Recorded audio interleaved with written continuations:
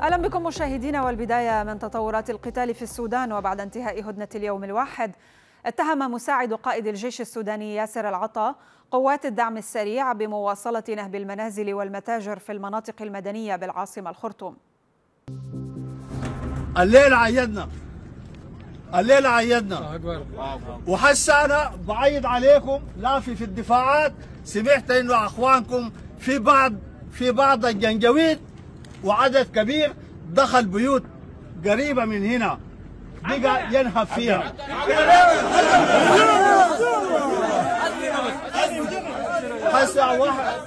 وحدة من وحدات العمل الخاص. أخوانكم حس الآن مشوا طوقوها.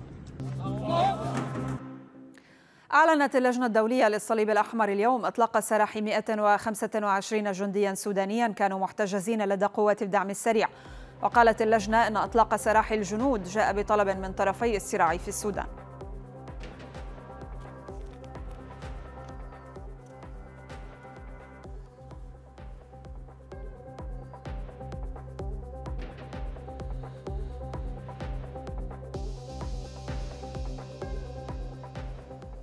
تنضم إلينا من ولاية نهر النيل مراسلتنا سالي بابكر. سالي مرحبا بك معنا. كيف تتابعين إذا الأوضاع الميدانية؟ هل من بوادر لوقف إطلاق النار أو على الأقل خفض التصعيد بعد هذه الخطوة من الدعم السريع في الإفراج عن المعتقلين؟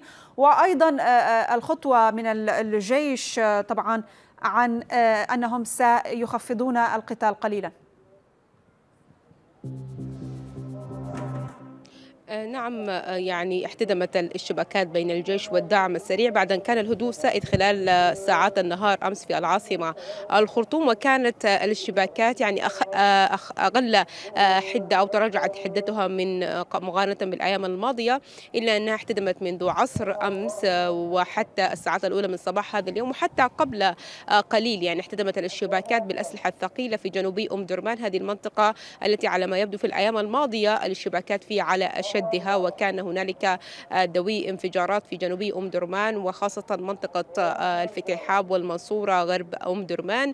كذلك أيضا في صباح هذا اليوم وحتى قبل قليل كانت هنالك اشتباكات بين الجيش والدعم السريع في منطقة شمبات بشمال مدينة الخرطوم بحري. كذلك أيضا احتدمت الاشتباكات في منطقة جنوب الخرطوم هذه المنطقة التي محتدمة فيها الاشتباكات منذ اندلاعها.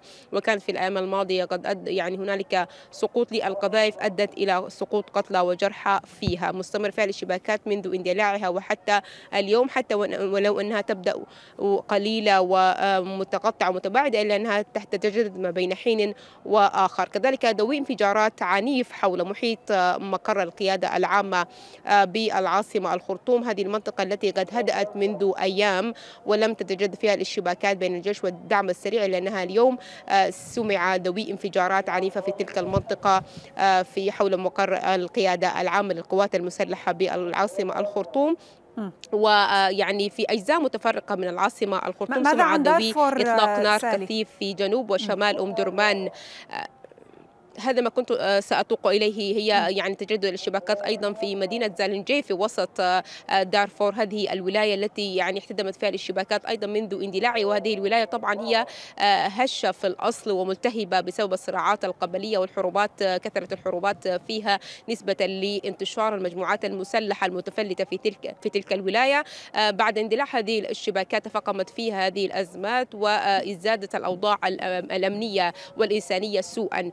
بالرغم من أنه ساد الهدوء فيها أيضا نسبيا خلال يوم أمس هو أول أيام عيد الأضحى المبارك إلا أنها اليوم أيضا تجددت الاشتباكات في مدينة زالنجي في وسط الولاية وأيضا لا زالت مدينة الجنينة في غرب دارفور محاصرة وتعاني من الحصار حتى الآن ومطوقة بالقوة العسكرية ولا يستطيع سكانها العدد القليل المتواجدة في هذه المدينة الخروج منها حتى الآن إلى الحركة الطفيفة لقضاء احتياجاتهم الأساسية داخل هذه المدينة ويعانون يعني من أوضاع إنسانية وأمنية صعبة جدا في تلك الولاية. وطبعا هي أعلن أنها منطقة أو ولاية منكوبة كما جاء على لسان في تصريح سابق على لسان حاكم إقليم دارفور من أركم الناوي. الأوضاع الإنسانية هل هنالك بالتزامن مع محاولات وقف القتال في دارفور؟ والتي كما قلت يبدو أنها لم تجدي نفعا. وأيضا محاولات وبوادر الدعم السريع واستجابتهم للضغط.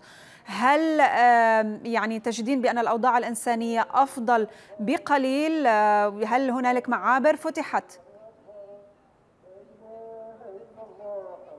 يعني يمكن أن نقول يعني الهدنة هدنة أمس أو هذه المفاوضات المحاولات ومبادرات من داخلية ودولية لإيقاف النار في إقليم دارفور. يمكن أن نقول يعني تراجعت حدة الاشتباكات فيها وأصبحت متقطعة ومتباعدة ويعني ساد فيها الهدوء نسبيا. لكن يعني يمكن أن نقول قد نجحت إلى حد ما كوقف إطلاق لإطلاق النار. ولكن انسانيا لم تنجح حتى الآن في معالجة الأوضاع الإنسانية ولم تصل أي مساعدات سوى لمدينة الفاشر بحسب مفوضية العون الإنساني التي يعني نعم. تحدثت في بيان سابق في الأيام الماضية أنها حاولت إيصال المساعدات لمدينة الفاشر الواقعة شمال دارفور وساهمت هذه المساعدات الإنسانية نعم ولو بجزء بسيط في انفراج هذه الأزمة. لكن بقية المدن لا زالت تعاني من أوضاع إنسانية كارثية بالفعل نعم في تلك الولاية ولاية دارفور غرب السودان.